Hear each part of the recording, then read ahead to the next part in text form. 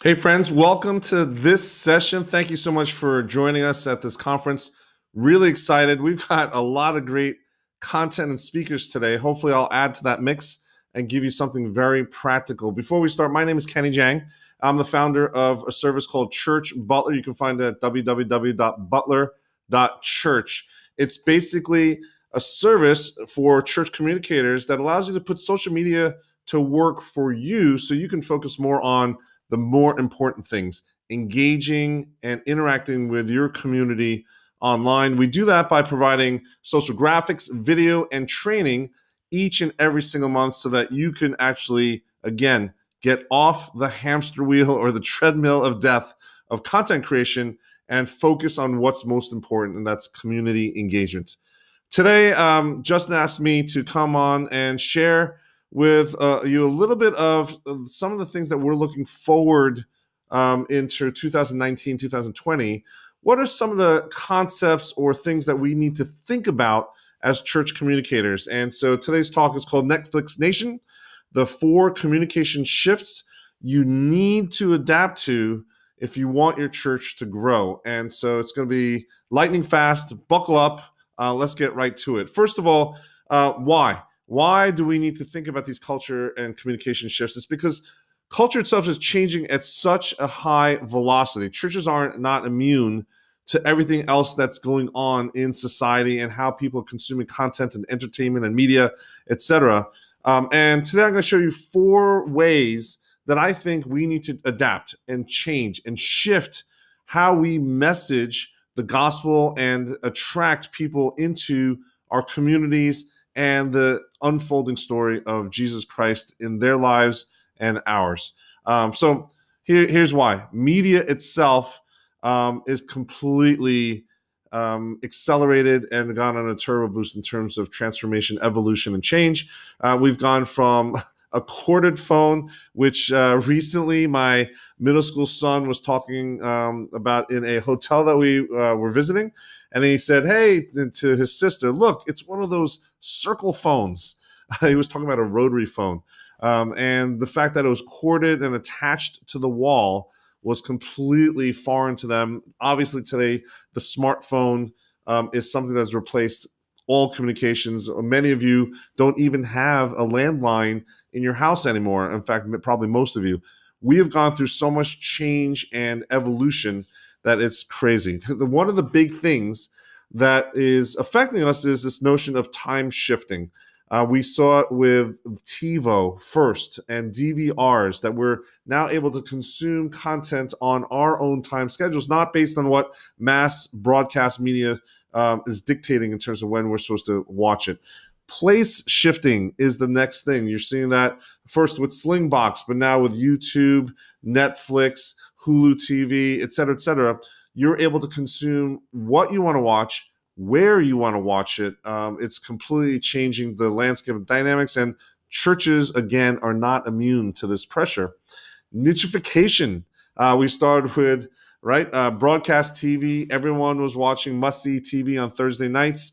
Um, and then the water cooler talk was about just the one or two programs that rose to the top cable TV, satellite TV, internet, um, and all on demand services now is increasing the nichification of how people consume content, how people find, discover, and follow content providers um, is uh, all all brand new to publishers uh, today, and this is something again churches are not immune to. Last one is shared experiences. Um, you see it with these large, big productions. AGT, American Idol, uh, reality TV, etc., has started the ball game, but we're going going even further and further uh, with shared experiences. Again, something that churches are not immune to if you want to stay relevant and in front of the people, because this is now an attention economy. And so, uh, again, remember back in the day, it used to be everyone watched the same person on the same program across the entire country. Um, and now um, we've got so many different choices in front of us as consumers. And this is something that you have to come to grips with, not just your pastor and the preaching and the church format, but just how you message, how you communicate, how you think that your people are receiving the message, both in your community and those that, that have yet to join your community out there, the people, the neighbors, the residents, the friends outside of your church's ecosystem itself. So lots of stuff to think about. Um, at the end of the day, what's happened is the transfer has become a media landscape that we need to grapple with. And that's going to force a lot of things on how we actually go about our business of communications and media. Um, this is just a, a milestone this past year. If you recall, the, the value of Netflix surpassed the value of the Disney empire in the stock market this past year. That's just it's mind blowing that a something that was a startup just a couple years ago in relative time um, is now surpassing the entire Disney empire with its um, entertainment and amusement parks and just how it's ingrained in our culture in America. You know what? Something like Netflix can surpass it. Um, it means that there's monumental uh, shifts going on in the landscape that we need to take take into consideration. Um, it doesn't mean that you need to go into a full high tech church mode, but it does mean that you need to think about time shifting and the church as one of the first things that we need to grapple with. And what I mean by that, Sunday attendance. Um, it's Sunday morning as the only time that worship services is available to the community is something that we have to start to think about and have a discussion with, I think, from my point of view. Um, it's no longer that everyone has a must see TV Thursday night program. You have content available everywhere. Same thing. People have so many different options for leisure and media and activities and recreation. And um, Sunday morning ha- has a lot of competition now. You can see it by the decline of attendance in the North American church.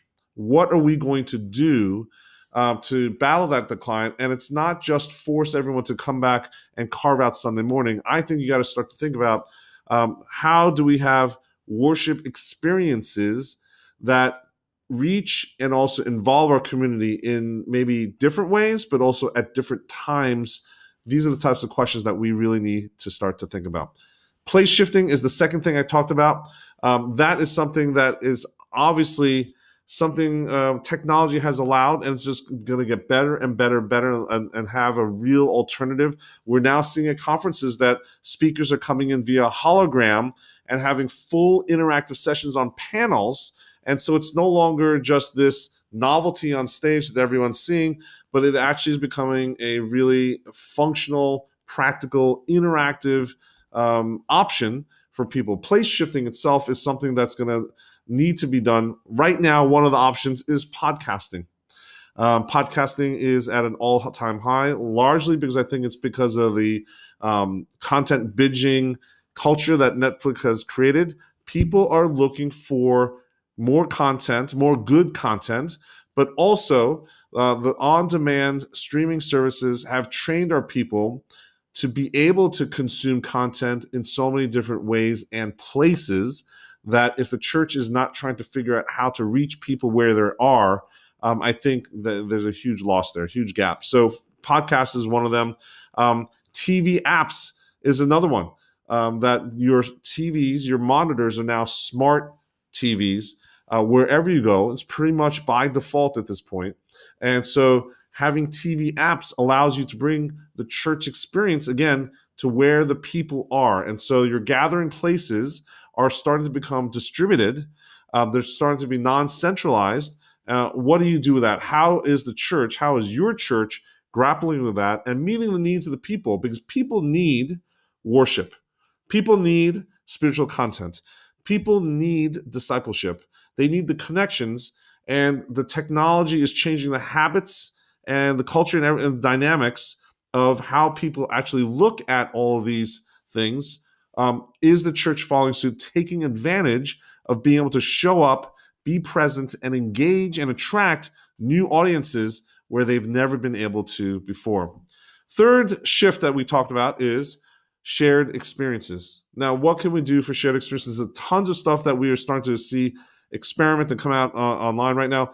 Church online is a great option. It used to be when I first became a church online pastor at Liquid Church Online, uh, people were questioning the actual validity of that format. Nowadays, you see more and more. In fact, it's almost a default that churches are at least streaming their services or making their services available on demand. But live worship, interactive church services is something that is starting to become um, much more standard. It's flourishing. It's becoming a real option for so many churches, especially because the technology cost um, is coming down so rapidly. This is something that you guys to take care of. Now, even if you don't go that far, um, you have things like live streaming that's available to you right now, uh, such as Facebook Live, YouTube Live, um, Vimeo is going live. Uh, there's so many options today that you can do, whether it be one of the main platforms or third party services that are targeting churches as their partners um, and their audiences. last one that I'll just um, flag here is the VR church, virtual reality. Um, we have at least one virtual reality church uh, that has grown in significance. Pastor DJ Soto has um, also spawned off um, different worship services for um, different geographies. And we've seen a, an online baptism at uh, the virtual church. We've seen um, volunteers and an elder structure. We've seen preaching that has been taken on by guest preachers because the infrastructure, the ecosystem, volunteers, people are serving in a real and genuine capacity. That it's not just a one to many; it's a peer to peer, and it's a it's a real, authentic human community that's coming together for the church. I always say when I was a, a church online pastor at Liquid Church, it's that it's not virtual church. And this is a nuance that I really think you need to, to pay attention to. It's not virtual church, it's not virtual people. It's real church using a virtually mediated channel for connections. Completely different if you think about it in those two ways. Um, and that's why I think virtual reality, it's not going to take over the world, but I think it's going to start to flourish. You're going to see other expressions of church in VR as, uh, as we move, fo- move forward. As technology comes down, like Facebook came out with the Oculus Go uh, headset, which is only $199 now. Um, it's going to come down further and further. Um, as that technology becomes democratized and available broadly, you'll see much more expressions of faith and spirituality in communities like this VR church um, available online uh, for people to experiment and actually attract non churchgoers, people who have no experience with the church, and bringing them into the fold, introducing them to Jesus Christ, um, our faith and religion, and other faith communities, even locally where they are. Um, the last one is nichification in the church that we talked about. And there's so many different ways that we can think about it. I think the first one um, may or may not be the best expression of it, where we're going after celebrity preachers and, and each one has their own following. That's one way of nichification. I would challenge you as communicators to push the envelope a little further than that, not fall into that trap, and try to figure out are there other ways and expressions to look at sub audiences across our communities and cultures, whether it be something like a cowboy church, which is real and alive, um, that is trying to um, really address the needs of a specific niche community. Um, ethnic churches is another one. Uh, there's so many different ways to slice and dice a community that if you are able to serve a specific niche, uh, it's easy to attract and really expose them again to the the great message that we have in the gospel. So um, those are four ways that I think that we as church communicators really need to be challenged with and start to think um, in a radical way. Uh, because this is almost time for another reformation of a digital sort. We know that the Holy Spirit works in pixels.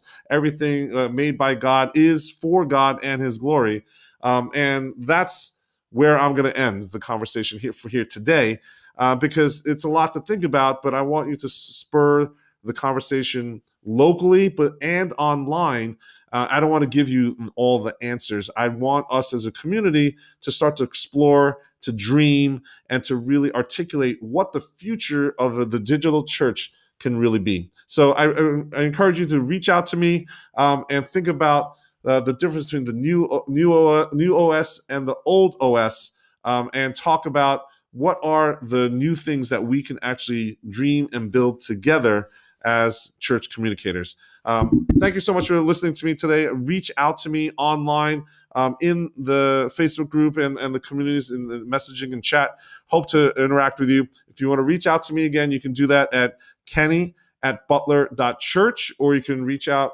on the website, www.butler.church, um, or on Twitter. Uh, Twitter is Kenny Jahng as the handle.